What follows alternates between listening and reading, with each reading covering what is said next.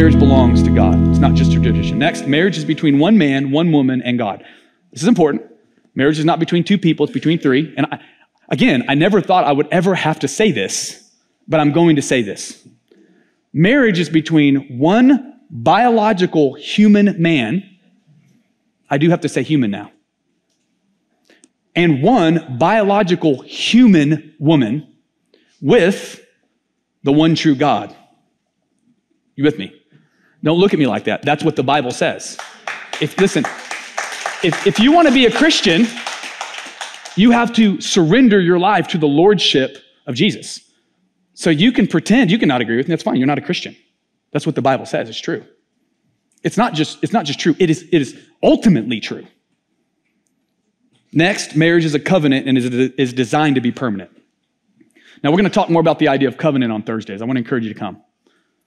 I'm not really sure if Pastor Keegan's going to make up the, the, last message or if I'm going to catch it on the next week on Thursday, but I want to encourage you to be at Thursday.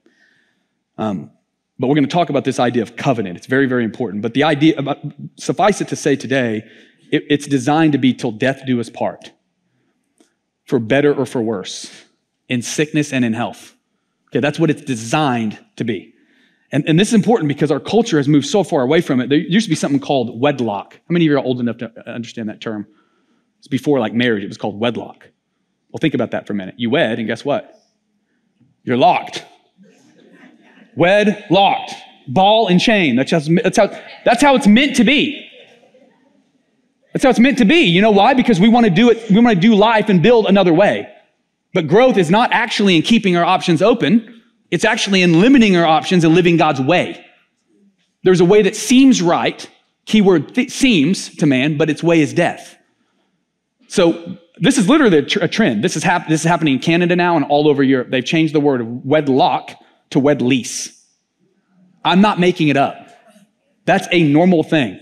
They are doing three, five, and 10 year leases in marriage where they can live. But that is what no fault divorce is, just so you know. It's the same idea. They just, they're just honest enough about it because they're so far from God in Europe. It's just, I mean, you know, they're just honest about it. But that's what it is. Okay, so God created marriage. God created marriage for multiplication. This is this next one, again, it's gonna be hard for someone because I'm, I'm gonna I'm gonna let you know if you know you're really a Christian or not. Genesis 1:28, God blessed them and said to them, I didn't say God blessed man, didn't say God blessed woman. It said God blessed them. God blessed them. God blessed them and said to them, Be fruitful, multiply, fill the earth, and subdue it. Rule the fish of the sea, the birds of the sky, and every creature that crawls on the earth. God chose to populate the human planet through marriage. For thousands Billions of people have come into existence because of the union of, one man, one woman. Uh, I would venture to say, because all of you are born, you are the outcome of a, it's crazy I even have to say it. I'm not going to say heterosexual cis relationship. I'm going to say normal relationship. I'm going to say normal because that's actually what it is. You were all an outcome of that. God loves children. Children are a blessing. They're a blessing. Our world doesn't see that, doesn't profess that. And it's absolutely demonic. A couple things I want to note. Many people are asking, Where is God? Where is God? It's so dark. And here's what I would ask you Where was your post as a believer when Roe v. Wade was overturned? You know where God was? Saving babies from being slaughtered in the womb. That's where he was. Yeah. I'm going to say this, and remember, this is God. I'm going to love you no matter what. You can come. You, you can come. You can still participate. You can still be around. But don't pretend you're a Christian and say you're pro choice because you're not. You're just not. And here's the thing the Bible says, like, the truth sets you free. I'm not going to pick it. I'm not going to, I'm not. But, but I'm not going to lie to you.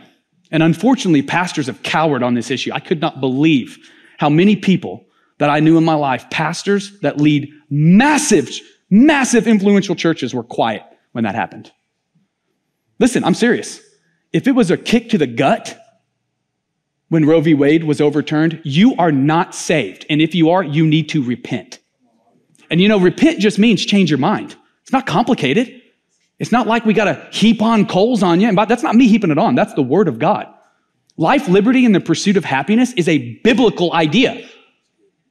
And it's interesting, the people who want to be pro choice, which is really pro infanticide, that's what it is. 64 million babies have been aborted in the womb since Roe v. Wade, murdered mercilessly.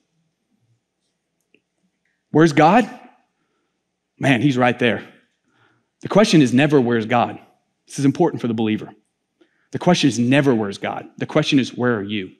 What did God say to Adam and Eve? Do you think he really needed to know where they were? No, the question was for them. They sinned against him, they were shameful, they covered, and they hid. And he asked this question, and I, am this is a question every believer has to ask Where are you?